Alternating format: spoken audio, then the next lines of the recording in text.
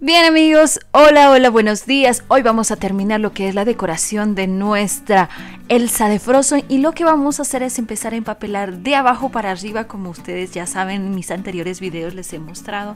Agarramos nuestro papel crepé ya cortado y listo, más o menos la medida que yo estoy usando en esta parte es de 4 centímetros de ancho.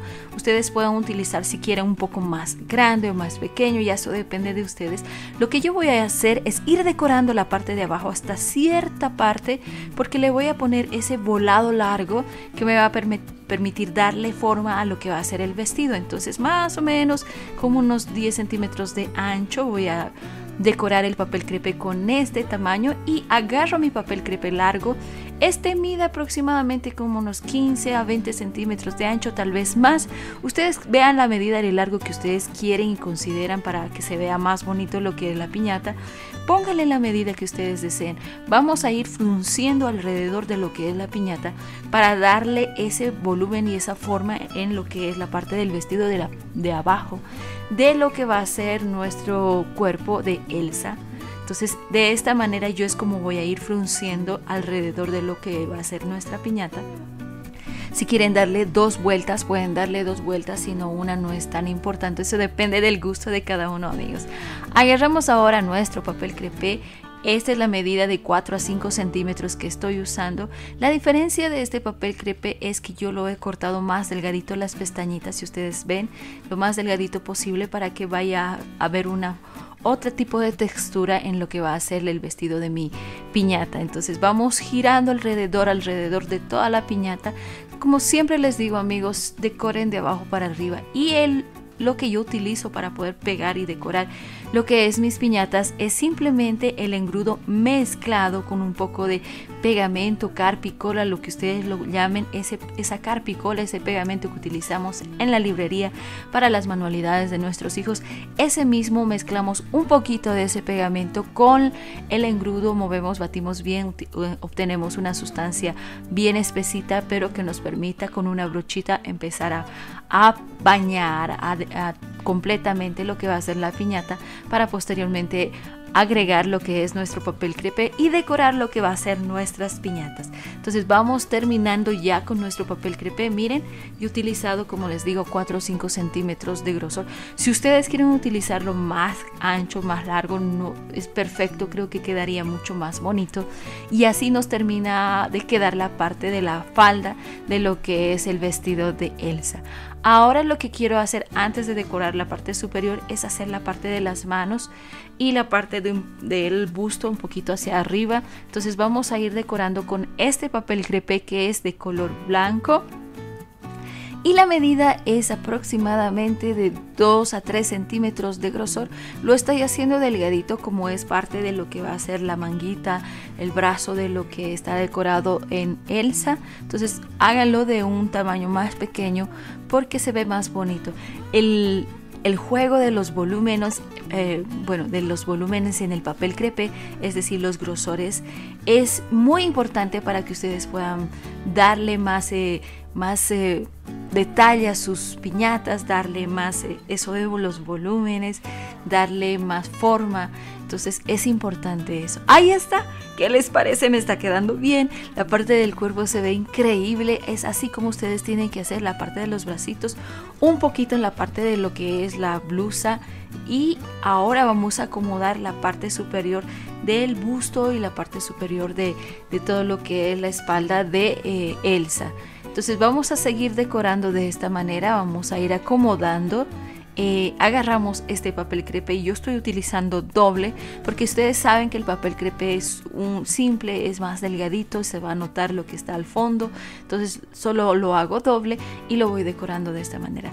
La parte de abajo le vamos a ir poniendo una tira igual del mismo color de papel crepe y lo vamos a ir ajustando, acomodando lo que es el cuerpo de la piñata de Elsa. Entonces lo acomodamos de esta manera y ya con la silicona, siempre con la silicona esta parte para no dejar manchitas, no dejar un poquito de esa, de esa humedad en lo que es el papel crepe. Ahí es esta es ya la parte del vestido, del cuerpo de Elsa, es así como nos debe quedar.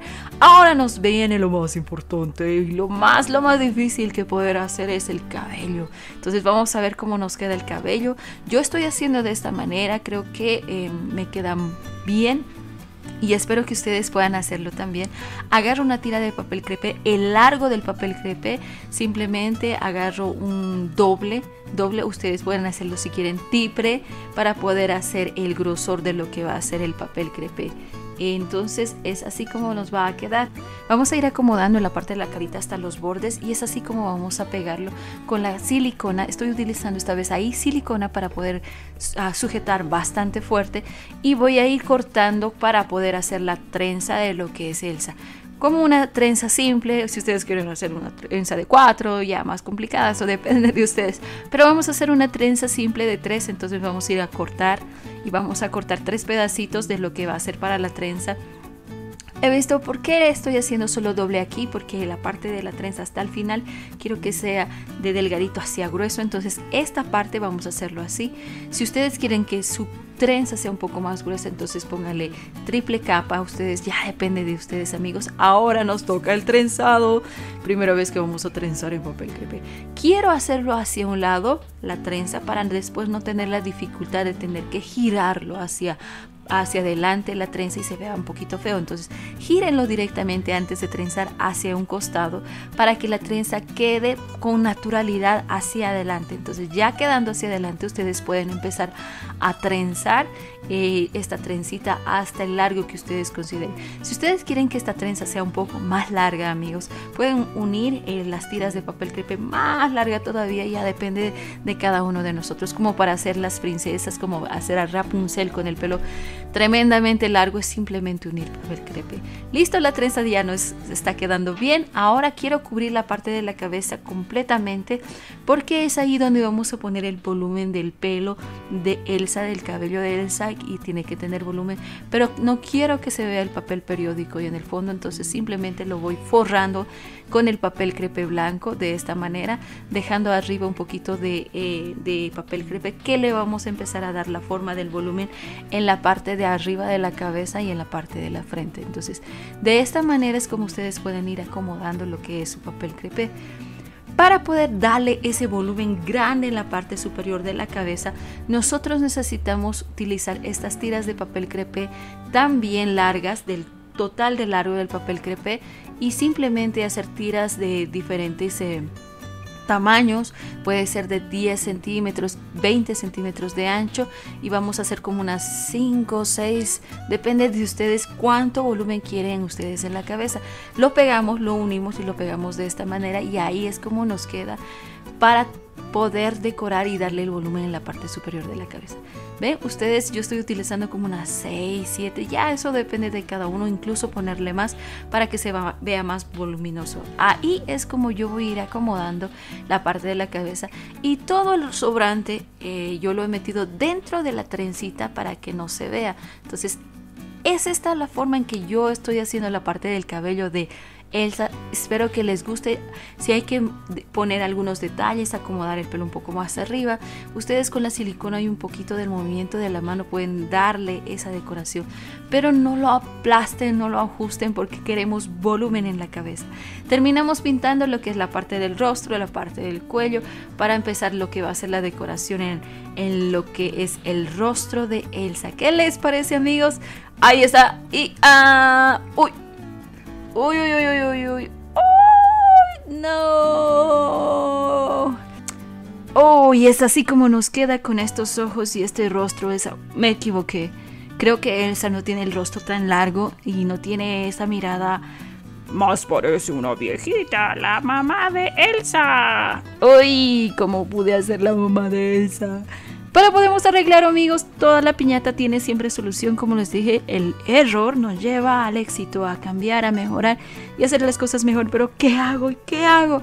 Ya sé, ya sé, ya sé qué voy a hacer. Solo necesitamos un poquito, un poquito de imaginación y arreglemos esto. Intentemos otra vez amigos. Uno, dos y aquí está. Este es el rostro corregido de Elsa. Sí, así es como podemos arreglar a Elsa. Hoy quiero darle, tener la oportunidad de enseñarles cómo me salió las dos formas, las piñatas. Ustedes vean, este es el rostro que yo le puse. Simplemente ustedes pueden sacar una lámina, cortar la parte del rostro de Elsa y ponerlo y pegarlo encima de un cartoncito y pegarlo en lo que es nuestra piñata. Es así como yo pude arreglar a Elsa. Ahora se ve Elsa. No tiene el 3D en el rostro, pero todo el cuerpo ya está hecho de 3D.